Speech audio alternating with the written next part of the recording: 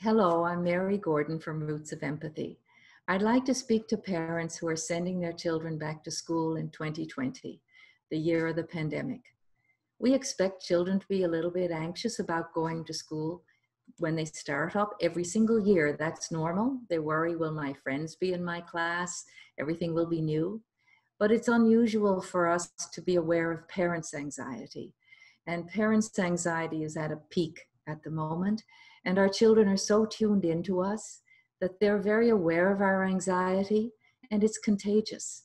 So we can do something about that. It's helpful if you ask your children questions about how they might be feeling about going back to school. Some of the questions will be simple, like, I don't want to wear a mask. Why do I have to wear a mask?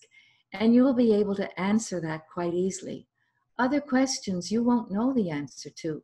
And it's really helpful to children if we tell them we don't know, but let's think about that. And we'll continue talking about that because when we allow children to talk about their fears, or even when we speak about them, cortisol levels in our brain come down, and that's a stress hormone. And that's why it always feels better to talk about what you're worried about.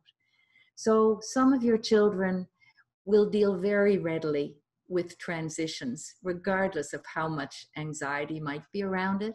And others will have more trouble. And that's normal. They'll need more support from you.